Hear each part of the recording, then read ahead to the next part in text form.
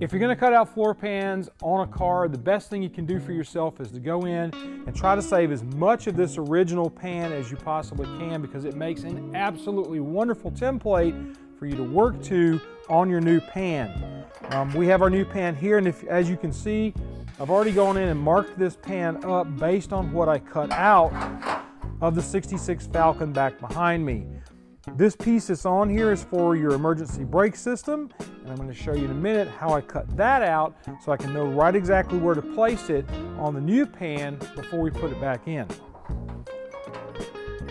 Oh, and one other thing I wanted to talk about while we're on the subject of things is always, always, always measure twice, cut once. I know it's trope, but it's true. For 45 years, the Miller family and the dedicated staff at AutoKrafters have been here helping you to restore your dream Ford. Thank you for your support. Here's to another 45 years of delivering parts for your Falcon, Fairlane, F100, Galaxie, Maverick, and Pinto. All right, now this is the uh, floor pan section that we got in from the guys at AutoKrafters. This is a decent section. It's, it's actually a stamped piece. It's a floor pan. I'm not going to get too whacked out about it, but one thing I did say before that I'm going to go into a little deeper now is measure twice, cut once. Now what I've got here on this floor pan, um, I kind of almost made a mistake because originally on this line section over here, I have the original pan cut back. I'm going to put it back up here so you can see it. I have the original pan cut back to here. Um, and this is not actually where this pan ends. This is not the last spot. This pan from AutoKrafters is about the right distance from here to here to match what's in the car already. Remember, folks, it's always easier to take it off than it is to put it back on. So if you cut it right, you're fine. All right, another little tip for you is this. If you're going to go in and you're going to have to make straight lines on your panel, like originally this was my straight line that I was going to put in when I thought I was going to make that cut. If you go down to your um, local hobby store, you can get some stuff like this. This is a cold pressed illustration board that I've had laying around here for forever. And the illustration board is really nice for being able to keep a straight edge if you use the factory outside edge of it. You can cut it down, do whatever you need to do, but the nice thing is, is this illustration board will lay in, you know, pretty straight across the flat areas and you can actually mark up all of your stuff and then it'll bend to go around the corners to give you a straight edge as well. You can take your marker and put uh, little marks along here to kind of where you want to be. You can measure from the outside edge to where you want to make your cut and then you can pip it along there with the black marker and then use the illustration board to keep a nice straight line on that because once you go around a curve things are going to change just a little bit for that kind of markup. All right now I've got my cutoff wheel here. You might wonder why am I wearing this shirt and my gloves and hearing protection and eye protection. This is all PPE stuff. This is all pretty important. Now with the shirt, I'm doing this because I don't like fiberglass getting into my skin. It's annoying, it itches, so I wear long sleeves whenever I'm doing cutoff work most of the time. Like everybody else, I forget. Also wearing my hearing protection and also wearing eye protection. Should I be wearing a full shield here? Possibly. But you'll notice that my cutoff wheel does have the guard on it, and I will try to keep that guard rolled around to keep things from popping me in the eyeballs.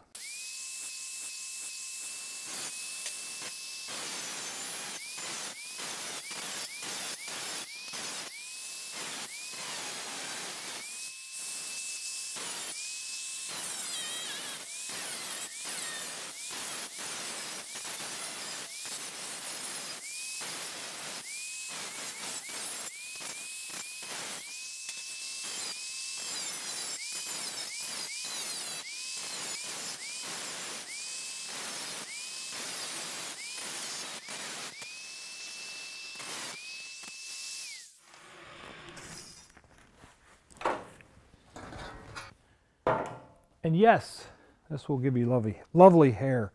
Okay, now, you see I've got this piece here I'm going to try something with this. I don't know if it's really going to work or not, but I'm going to put and cut these into smaller strips so that I can apply them to the inside section of the pan here in a vertical form. I'll show you what I'm talking about.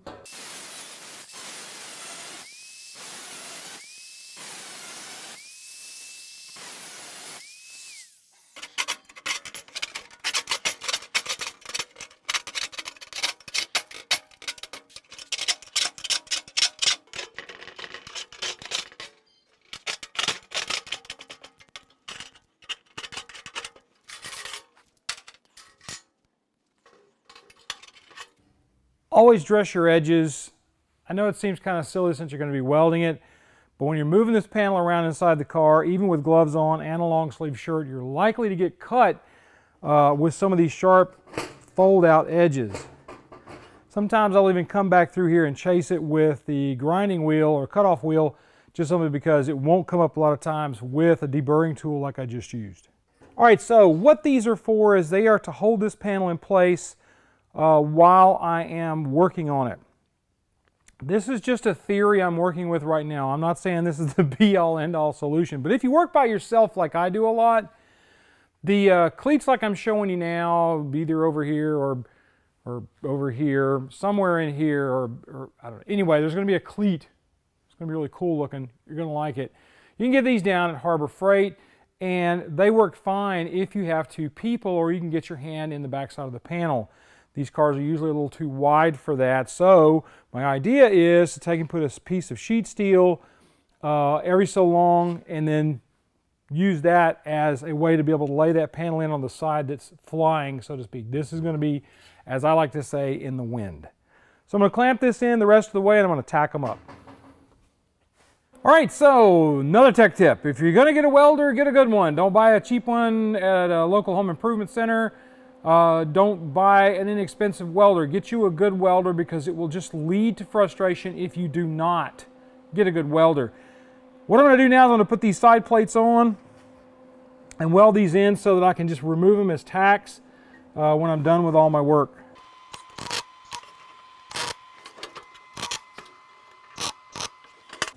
Now let's see if they fall off.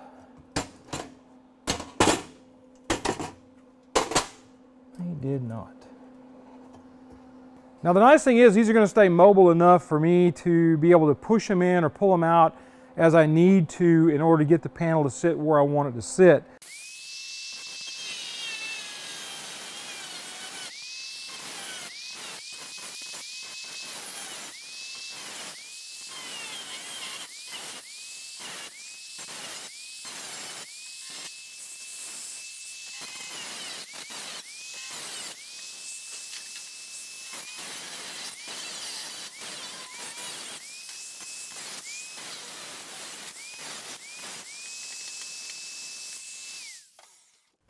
Now, obviously, I have to cut the sheet metal from the other floor pan off of there, but that'll let you know that's exactly where that brace needs to go when you get ready to put it all back together. And yes, I will be putting that on before we install the floor pan in the car. A little tech tip for you.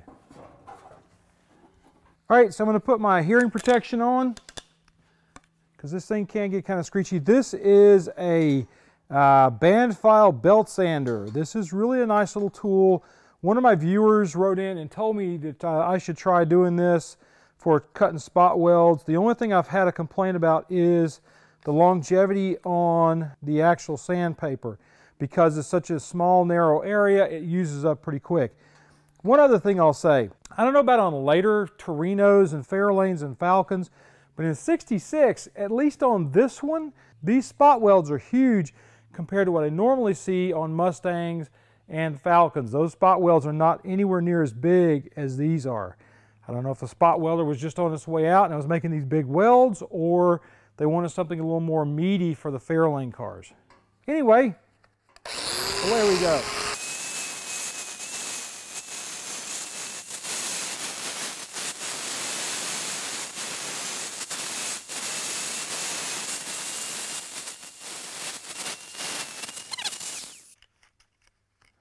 Where this comes into play particularly well is like on the inside of the rocker panel like I'm showing you right now on our 66. Those spot welds you have to use a big spot weld cutter because of the size of these. I just used uh, this tool to grind them down a little bit and then my uh, tool that I use for cutting spot welds. I can't do that on this because it's on a tabletop. There's nothing to push against. So I'm going to probably just take this over to the shop, grind it up because I don't want to be playing with this anymore. That was just to show you the example. Peace.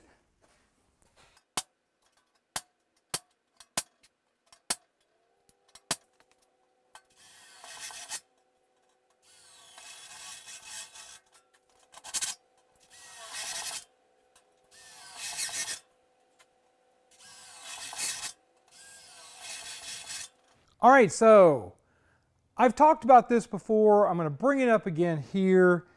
What can you really do? I mean, you can protect the metal to a degree, but I maintain that if you're welding, the area right around the weld is still going to suffer from no paint because the paint is going to burn off because of the heat of the weld. That's just the way it's going to be.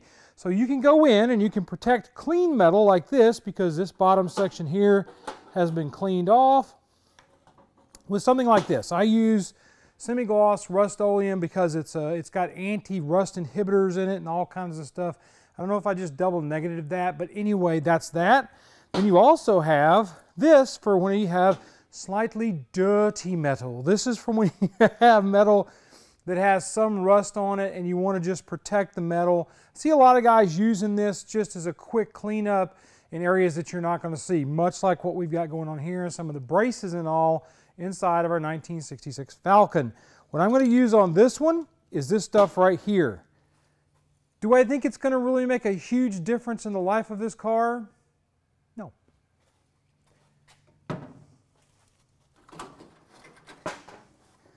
But we're going to spray it anyway.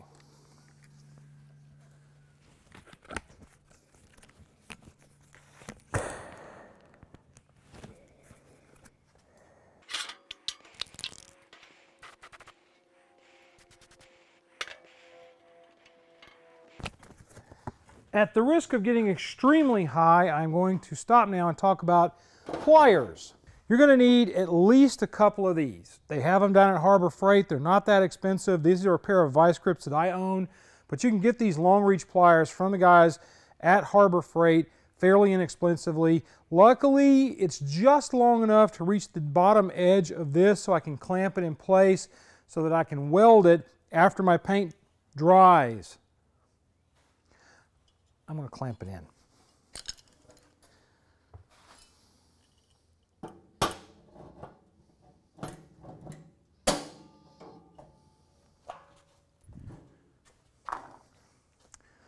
Now I can flip it over. I'm going to get my gloves back on here in a second.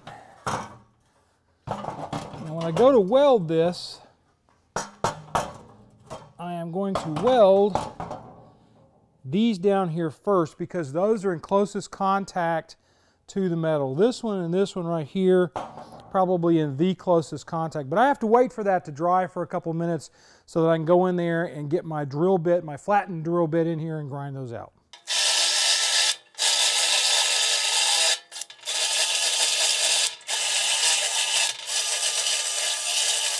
All right, I'm going to weld these in now. Now you may wonder why I'm going to the inside like this. Simply put, it's just easier. Uh, nobody's going to be looking at your car underneath the carpet, but a lot of people might roll up underneath your car to look at it from that direction. That'll make these welds where you can see them inside of here and nobody's going to know and nobody will care because, again, kind of like this stuff over here, they're not going to see it.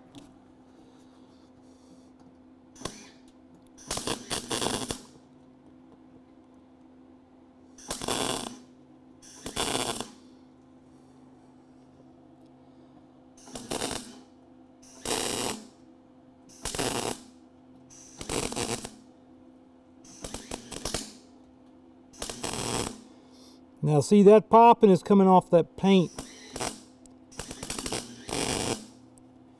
When I get out there on good clean metal, it quits doing that.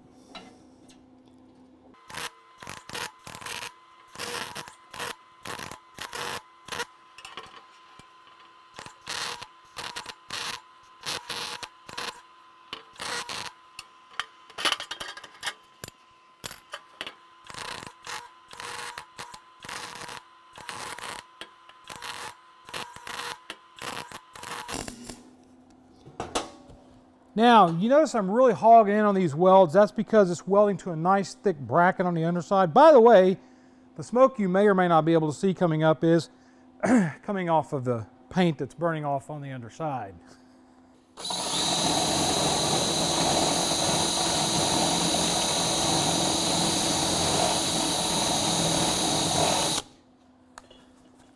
Now, if you really want to be, you know, right on top of it all, what you can do is you can actually go in on something like this weld here and throw your weld in.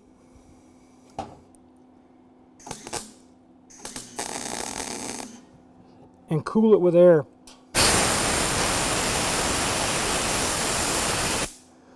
That'll keep the heat down on the panel that you're working on. Again, this is a floor not that big of a deal.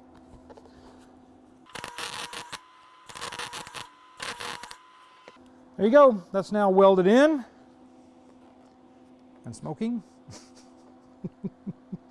so that's ready to go from that aspect. Now I'm going to show you a couple things inside of the car that you might want to work on. All right, so you think you're ready to go, right? I mean, you're ready to just drop that pan in there and go ahead and start welding. Well, almost every piece of metal I've ever gotten in uh, that's been that's been shipped you have things like this to take care of. This lip is not supposed to be here, obviously, so we're going to take that out. Um, these pieces that I put in here actually seem to work pretty darn well. Um, but what I'm going to do now is just in a loose fit situation. I want to see where we're at on this panel. We are a little bit high according to over here. Um, but that really won't make any difference on the rest of this. So what I'm going to do I'm going to go in, I'm going to mark it up for where it's currently sitting so I can see what we have. You will probably do several of these markups before you're done with the, the panel. Now one thing I've immediately noticed on this one is, in just looking at it, is it appears we have a kink in the panel right there anytime you're working on one of these cars, you're going to want to get in to it from one side, set the panel in there temporarily, then go around to the other side of the car, look at the panel from that side of the car, because there's things that you're not going to be able to see as well from over here that you'll be able to see from the passenger side of the car. For instance, I'm showing you right now, right where that kink is, that's a problem because it's a big arc out off of the panel. So I'm going to mark that up for a fix and I'm going to cut this lip off right here because I put that in there because it, it was in the markup from the other panel but it was just an error uh, in, in my setups. I've already got the toe board pretty much welded in. The welds look terrible. I am still fighting my welder a little bit. There you go. I'm going to pull this back out now so I can see where my markups are. And you can see by the markups that we are pretty darn close to where we need to be. We're out a little bit on this end over here, which tells me that the pan may be sitting this way some. Now there's another thing I want you to notice too. This is popped loose. Sometimes that kind of thing will happen to you. This, this piece over here on the toe board that we've put in, that's popped out. I'm going to probably grab one of my big C-clamps and try to put a hole in it or I may just edge weld it into place because it looks like the first and the second welds popped. Now these rockers on these cars are um, galvanized, so you're going to have to kind of fight with that a little bit too. You're going to have to grind on these. I ground on those two welds, but apparently it wasn't enough. And now I'm kind of in a sticky spot because I can't really take this whole thing back out to try to fix this problem here. Until I can get this to settle in and sit where it's supposed to, that pan that we've got to put in the car is not going to fit. All right, last tip. this is one that seems kind of obvious, but there are a lot of people who get frustrated and quit because of things like what I'm about to tell you. Never go at this stuff at great speed. If you're having to do this quickly, you're not going to get it done correctly. It's going to end up being a problem and you're not going to be happy with the results. Always, always take your time when you're putting these pans in. You're going to have to probably do at least five to 10 resets on the pan itself just to get it to fit the way you want it to fit. Uh, I've never had one that went in right away and I was happy with the fit on it when I was done with it. So keep that in your mind. Be patient. Patience is key when it comes to this kind of stuff. And you are going to screw up. There's a minor screw up on this pan that I just showed you where the welds didn't hold because of something I must have done or maybe the weld area wasn't clean enough. But you'll work through those things. You'll get through this. You got this. So be kind to each other, love on each other, treat each other nice. You guys come back next time and we'll see you on down the road. A lot of miles to go before morning. I hate having to re-weld that toe board, but it's gonna have to happen.